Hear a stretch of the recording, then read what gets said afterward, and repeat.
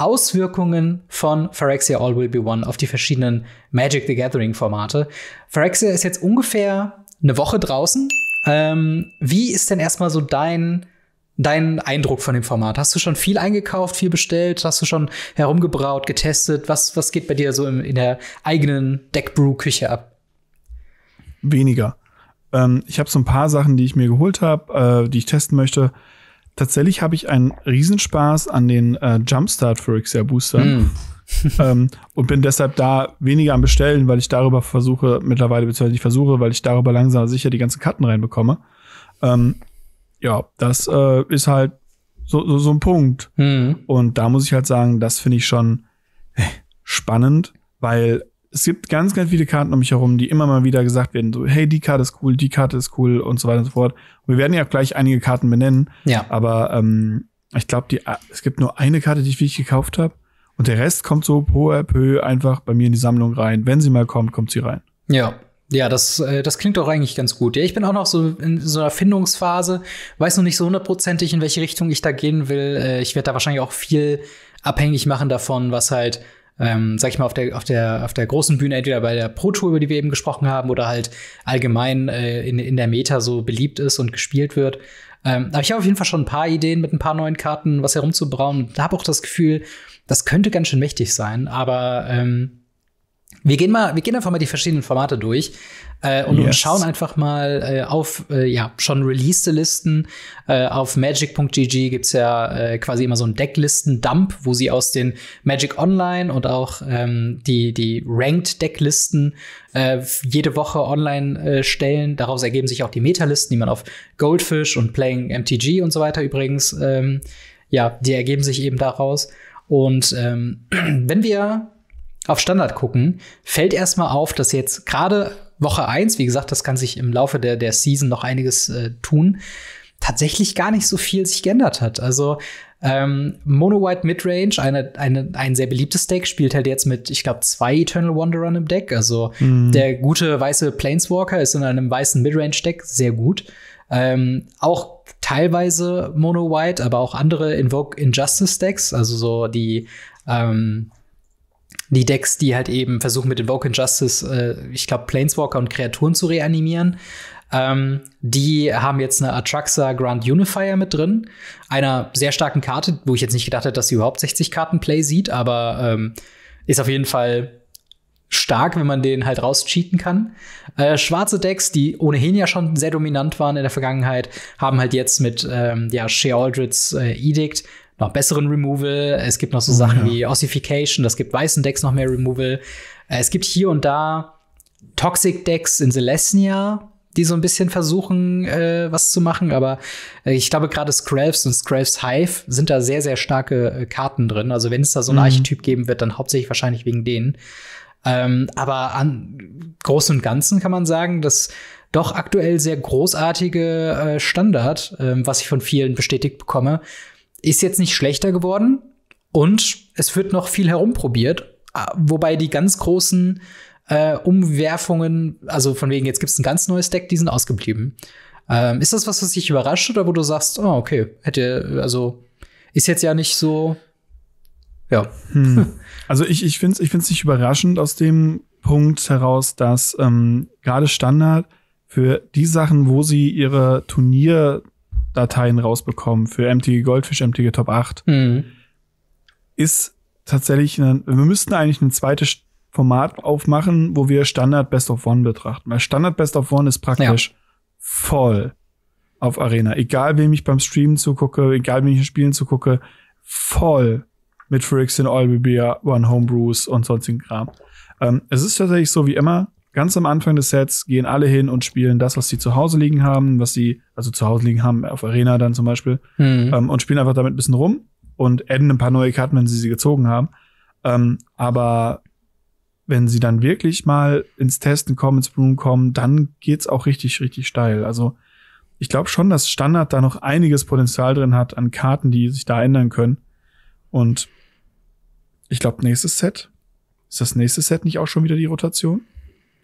Ähm, Nee, Im zwei Herbst, Sets genau, in Rotation. zwei Sets. Ja, zwei Sets Rotation. Ja. Und spätestens dann würde ich auf jeden Fall sehen, dass Phyrexia einen wesentlich, wesentlich stärkeren Punkt einnimmt. Ja. Ja, ich bin da auch auf jeden Fall gespannt. Aber wie gesagt, wir müssen auch eigentlich an all diesen Bemerkungen, die wir jetzt für Standard und auch für die anderen Formate machen, so ein kleines Sternchen dranhängen. Manchmal braucht es halt wirklich eine ganz lange Zeit, bevor sich neue Decks wirklich bilden, äh, weil einfach Ja. noch vorher nicht jeder auf die Idee gekommen ist, irgendwie Karten zu kombinieren oder jemand hat einfach ein Video gepostet, wo irgendwas äh, viral geht oder so. Und ähm, ja, da, da kann sich noch viel tun, auch wenn es jetzt momentan noch nicht der Fall ist. Es ist jetzt kein abschließendes Urteil für Phyrexia-Standard. Aber ähm, ich meine, es ist halt sehr midrangy und grindy. Und wenn halt eben starke midrangige Decks im Format sind, die, die sind ja nicht auf Synergie aus. Und, und da halt für ein komplett neues Deck Fuß zu fassen, wenn das Removal stimmt, wenn die Threats stimmt, so, ähm, dann ist da, glaube ich, auch nicht viel zu holen. Ähm, Ähnlich auch ganz kurz äh, zum Thema Pioneer. Wir haben eben schon in dem äh, Pro Tour Part drüber gesprochen. Aber hier noch mal, ich finde es so geil, dass wieder eine Pro Tour so nah am Set Release ist. Es ist nicht so krass nah, wie es mal früher war, dass man wirklich so äh, am Freitag released ein Set und am Montag darauf oder am Wochenende darauf ist halt irgendwie äh, direkt das neue Standard da. So krass ist es jetzt Mhm. nicht, aber wir haben nicht mehr dieses komische okay, in zwei Wochen kommt das nächste Set, deswegen lass uns jetzt mal noch eine Pro-Tour mit den aktuellen Karten haben. Äh, und dementsprechend gibt's da halt noch viel äh, ja, Raum nach oben. Pioneer hat sowieso, ist sowieso noch nicht so hundertprozentig explored, habe ich so das Gefühl. Ähm, aber ja, viele Sachen, über die wir auch schon geredet haben aus äh, One, haben eigentlich auch sofort irgendwie Play gesehen. Äh, ist natürlich die Fastlands. Die sind sofort in Raktos Midrange, in allen zweifarbigen Decks, in allen mehrfarbigen Decks haben die äh, was äh, haben die irgendwie Play gesehen. Und ich glaube tatsächlich, ähm, was, was auch sehr witzig zu beobachten ist, ist tatsächlich die, das Verhältnis zwischen den Fastlands und den Slowlands. Also, dass die einen, die bis Runde 3 äh, ungetappt reinkommen, die anderen, die ab Runde 3 äh, getappt reinkommen. Weil viele spielen 3-3, wobei manche Decks auch quasi gerade aggressivere Decks, die wollen da natürlich irgendwie 4-2. Und ich glaube, dieses Verhältnis, das muss man noch irgendwie perfekt ausloten, welches Ausfinden, Deck jetzt was ja. haben möchte, oder? Ja, ich denke auch. Also gerade wenn man da ja eben nicht mit Fetchländern arbeitet, Mhm. sondern eben mal auf was völlig anderes, was völlig Neues sich verlassen muss, finde ich das tatsächlich sehr, sehr interessant. Ähm, prinzipiell finde ich es auch super interessant, dass die Agro-Decks überhaupt dieses Slowland spielen, sag ich mal. Ja. Ähm, aber es, es musst du halt im Format ein bisschen tun. Hm. Vielleicht gibt's dazu auch an irgendwann andere Alternativen. Ja, und, und, und Slowlands sind natürlich auch immer so eine Sache, ähm, Ja. ab Turn 3, also es geht ja wirklich nur um die ersten zwei Züge, wo du sie nicht haben willst, aber dann spielt man sie immer noch lieber als ein Tempel oder, oder äh, ja, Oder Alternative. halt zu Fastland wieder. Genau, und jetzt halt Fa Fastlands. Also ja, ich, ich bin, bin auf jeden Fall mal gespannt, wie das Ganze, wie das Ganze sich ergeben wird. Ich hoffe, dass tatsächlich ein paar der Länder noch ein bisschen günstiger werden. Also gerade die Fastlands sind echt immer noch sehr teuer. Aber ähm, ja, ich, äh, die Mana Base ist auf jeden Fall sehr spannend gerade.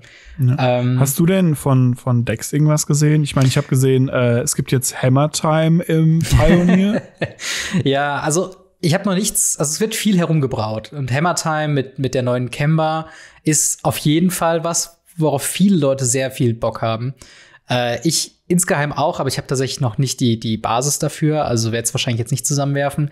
Ich habe aber noch keine jetzt wirklichen Ergebnisse gesehen, dass sie auch wirklich Erfolg haben. Deswegen sind das Fun Brewer Rounds, aber äh, ich bin mal gespannt, ob dann die Listen auch stecken bleiben, weil im Endeffekt du brauchst halt so eine Lucky Hand, um damit halt zu gewinnen. Ähm, das ist halt jetzt nicht unbedingt immer, ja, ich, ich, es fehlt noch so ein bisschen die Möglichkeit, glaube ich, das zu selektieren und dann auch die die idealen Equipments neben Colossal Hammer, äh, wo es ja zum Beispiel in, in Modern hast mit Stoneforge Mystic und halt eben äh, ne Shadow Spear und unter den verschiedenen äh, hier auch Caldra Complete und und Battle Skull. So, solche Qualität an Equipments fehlt's halt noch. Klar, du hast halt diese Mhm. diese insane Combo mit Turn 1 äh, Colossal Hammer, Turn 2 Kemba und dann hast du direkt dein, deine Kreatur da, aber selbst dann muss sie ja immer noch einen Turn überleben und ich glaube, das ist halt so ein ganz großes Problem, da dieses Balancing hinzubekommen.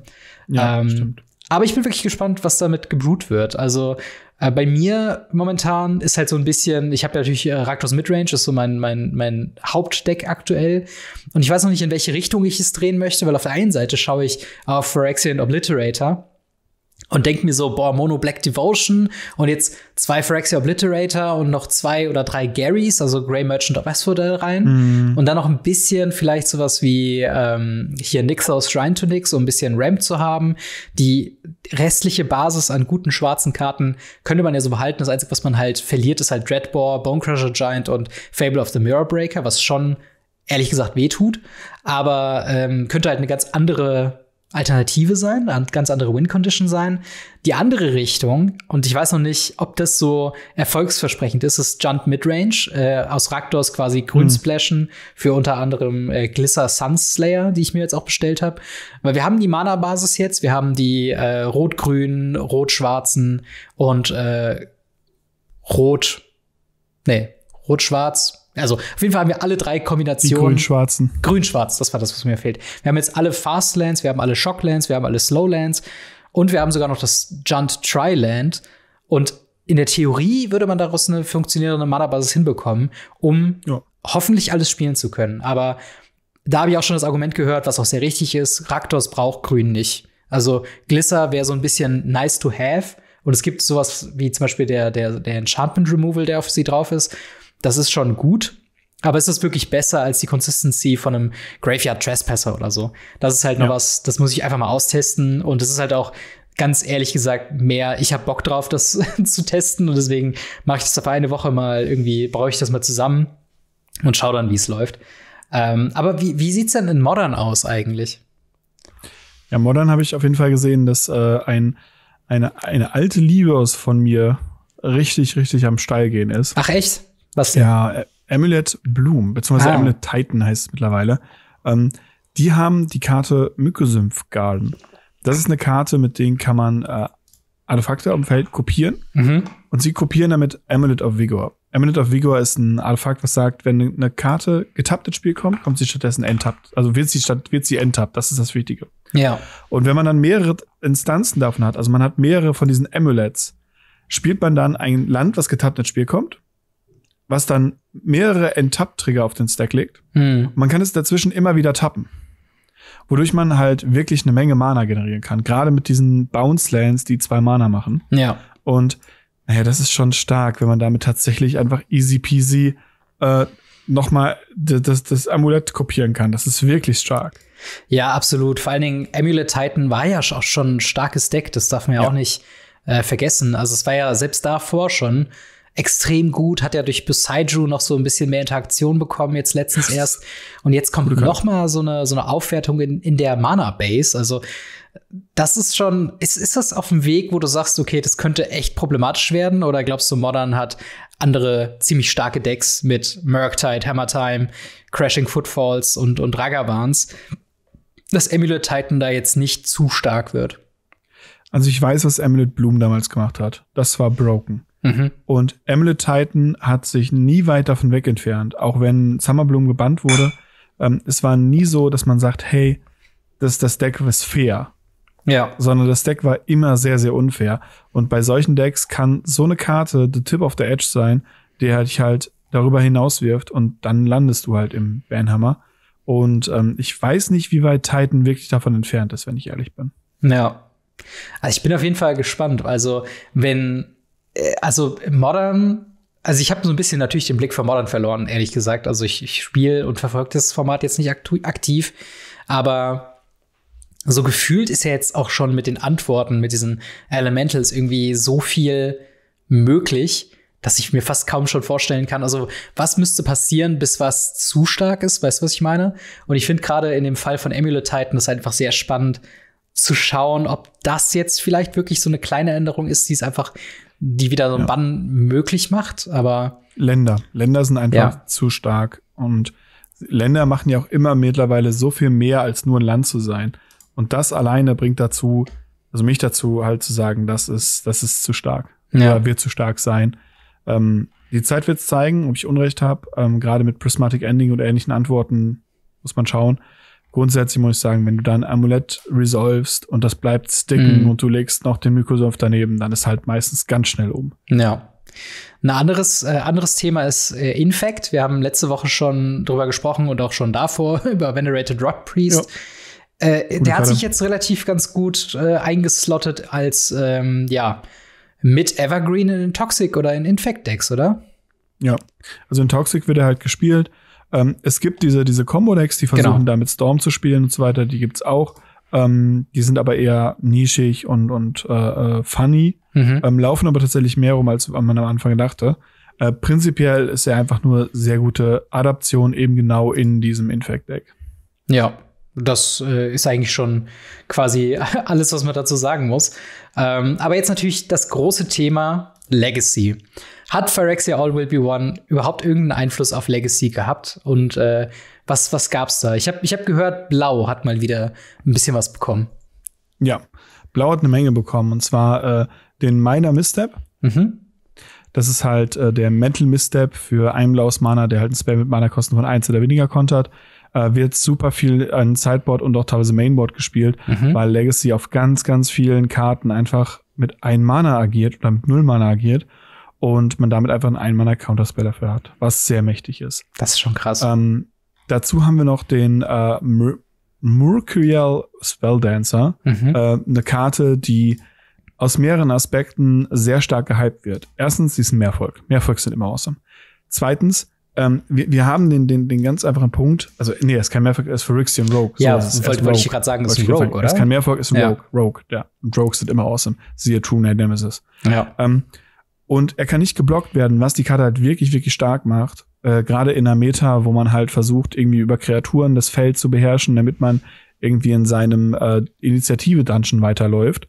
Und dann kann er noch halt wirklich jedes Mal, wenn man einen Zauber castet, eine Marke drauf haben, zwei Marken runternehmen, man kann ein Spell aus dem Friedhof casten. Das ist halt wirklich, wirklich stark. Mhm. Und ähm, es erinnert äh, ganz stark an Dreadhole Arcanist für viele Leute, für mich sogar noch ein bisschen stärker, ähm, weil es eben den Punkt hat, dass er eben unblockbar ist. Das, das ja. macht ihn sehr, sehr interessant, sehr, sehr stark.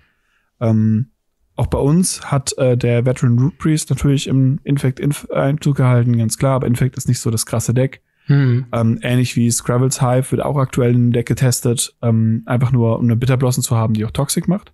Und bei uns sind die Infect-Decks halt manchmal Bandfarm. Ja. Und dann haben wir tatsächlich auch die Atraxa. Oh, spannend.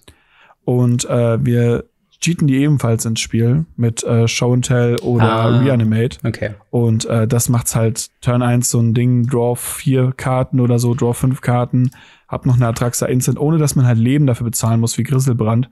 Ähm, ich hab's am Anfang belächelt. Viele Leute sagen aktuell, das ist ein Contender, um Grisselbrand mal von seinem Thron zu stoßen. Das finde ich sehr, sehr spannend.